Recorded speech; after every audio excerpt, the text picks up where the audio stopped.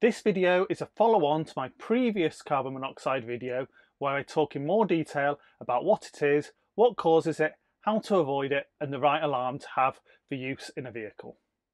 I'd highly suggest watching it first if you haven't already. A contentious area that often brings up discussion around carbon monoxide is the use of non-room sealed appliances inside a van. So in this video, I'm going to share my thoughts and some practical demonstrations to help you decide if you should think twice before fitting one. So keep watching. Don't forget to check out our other videos on everything campervan and motorhome related, from solar to water, heating to gadgets, tyres to trips. If you like this video, please do hit the thumbs up, it really does help me to know what you like, and you can ask any questions or give feedback in the comments. If you want to make sure you don't miss any of our future videos, please hit the subscribe button and clicking the bell will give you a notification when a new video goes live. Finally, if you do decide to hit the thumbs down, it would be great if you could also leave a comment so I'd know what you didn't like. The topic of this video has potential safety implications for you and your van. Although I have experience of van life, I am not a professional van builder or heating engineer. Therefore, any information I share is purely my opinion.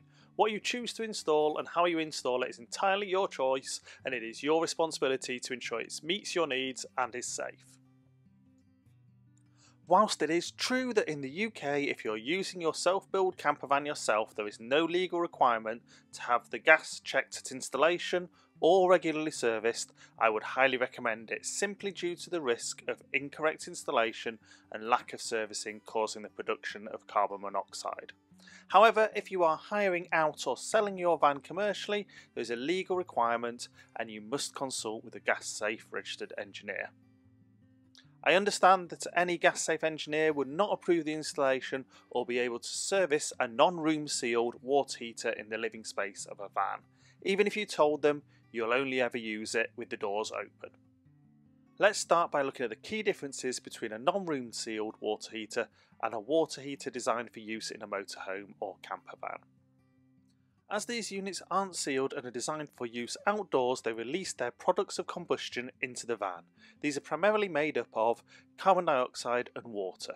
However, if the combustion of the LPG isn't complete, it will also release carbon monoxide. A reduced level of oxygen is something that would make the combustion incomplete. The design of this type of water heater increases the chance of this as it takes its combustion air from the van, so depleting the oxygen. So, what if it's fitted with a vent or flue to the outside? Now, whilst it's possible this will reduce the amount of products of combustion, it's very unlikely to eliminate them, as because the unit is not sealed, the other vents in the unit are just as likely to release them into the van.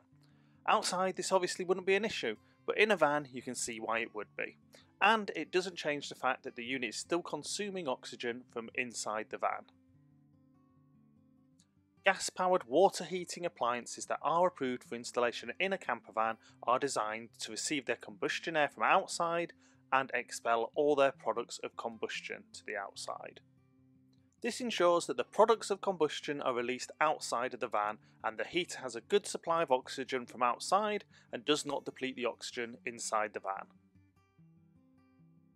But hobs, ovens and grills fitted in campervans don't receive their combustion air from outside or vent their products of combustion to outside, so it can't be that bad, can it?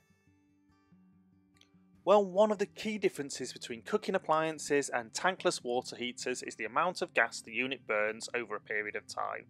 An average gas hob, oven or grill is approximately 1.5 to 2.5 kilowatts, whereas the average tankless water heater can be 20 times that at more than 30 kilowatts.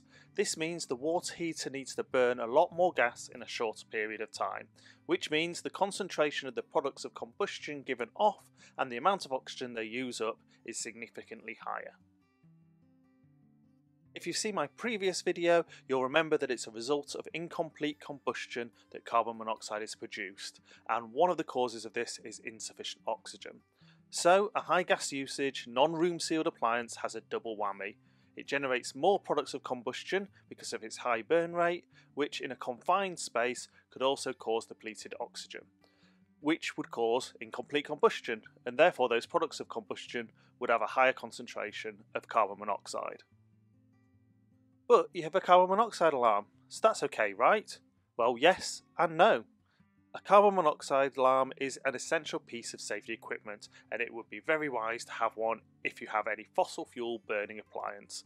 But it does have to be the right one. You can see which ones are designed and built to meet the requirements of use in a vehicle in my previous carbon monoxide video. The other consideration is that carbon monoxide alarms measure the concentration of carbon monoxide in the air over periods of time and have a threshold over different time periods before they will trigger. Whilst carbon monoxide is clearly dangerous in high concentrations in a very short period of time, it's also dangerous in low concentrations over a prolonged period of time.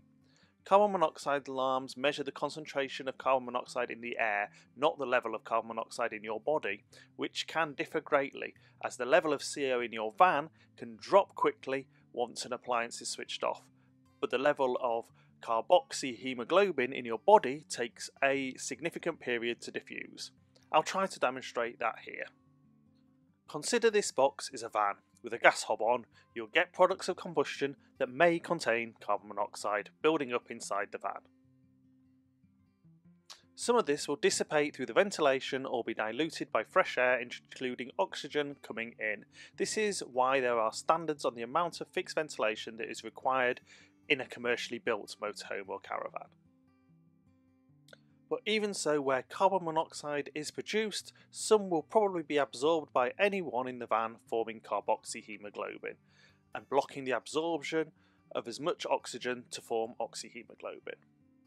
The half-life of carboxyhemoglobin is approximately 4 hours, so it could still take quite an amount of time even for a small amount to be fully diffused. Now let's consider our non-room sealed tankless water heater. This produces significantly more products of combustion due to the amount of gas being burnt in a short period of time. As before, some will dissipate to outside and some fresh air will dilute, but without significant ventilation, i.e. being outside the van, there will inevitably be higher concentration in the van. So this creates a risk that more carboxyhemoglobin will be formed in the body. It's quite possible that there may not be enough carbon monoxide in the air to trigger the alarm, as the level may not be immediately dangerous. With that 4 hour half life in mind, starting at a higher concentration, it will take significantly longer for the carboxyhemoglobin levels in the body to reduce even if the van has been completely vented. So now imagine the water heater is used again to do the washing up. That rapid burn of large amounts of gas again increases the concentration of products of combustion in the van. And once again, if those products of combustion include carbon monoxide, more carboxyhemoglobin is formed in the body, on top of that that was previously formed but not yet diffused. Repeat this sequence over time and you can see how the levels of carboxyhemoglobin in the body can reach dangerous levels without the level of carbon monoxide in the van necessarily triggering an alarm. Yes, theoretically this could happen with a hob or oven, but it would take significantly longer and more prolonged use than if it was with a water heater. As that's quite a lot to take in, I'm going to try to quickly demonstrate it in a couple of more practical ways. Just remember, it's not a scientific experiment, it's just a way to demonstrate the likely effect. Imagine this container is a van. It has holes in the bottom to represent the fixed ventilation a camper van should have and I'll be adding liquid to represent the products of combustion. Just remember that in reality to deal with gases ventilation would be at high and low level. Let's start with the low volume and slow release of products of combustion from something like a hob. As we can see the ventilation is easily able to keep up with this and the concentration in the van stays low.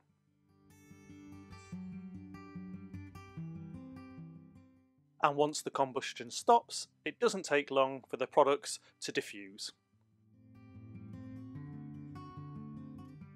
Now let's look at a representation of a non-room sealed water heater with high gas usage and therefore proportional production of products of combustion.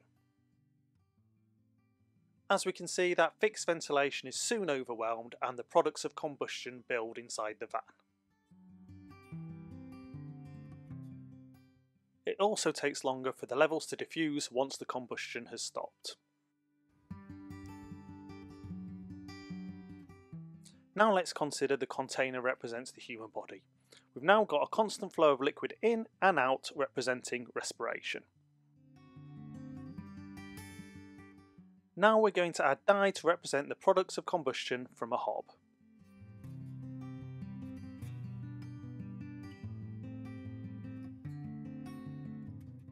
As we can see, it only has a small effect and it is soon diluted, similarly to the behaviour we'd expect to see of carboxyhemoglobin on the bloodstream.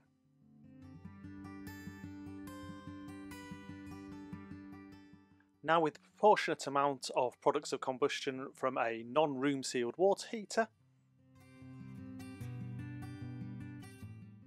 we can clearly see the impact of the greater volume in a shorter time, and the amount of time it takes to dilute.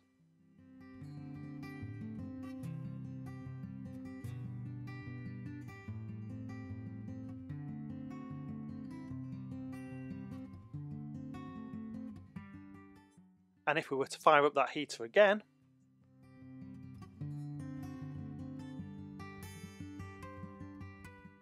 we can see a representation of the compounding effect due to the amount of time it takes to diffuse.